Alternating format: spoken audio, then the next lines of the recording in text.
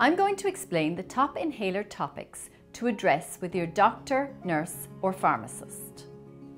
Be sure that you understand why you have each medication and device. Be sure you know how to use each inhaler. And if you have more than one inhaler, know which one to use first and how long to wait in between each inhalation. Make sure you know your dose, how long you need to use it for, and how long each dose will last. Make sure your healthcare professional has explained to you what to do if your breathing symptoms deteriorate or your asthma doesn't improve after using the inhaler.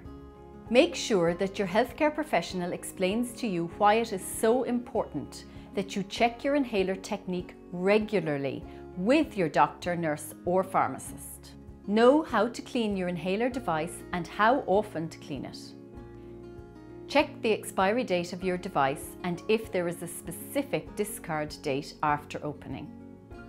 Know how to store and how to dispose of your inhaler safely.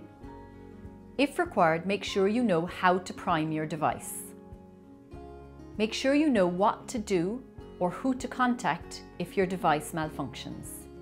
Make sure you're clear about when your device is empty and when it needs to be replaced.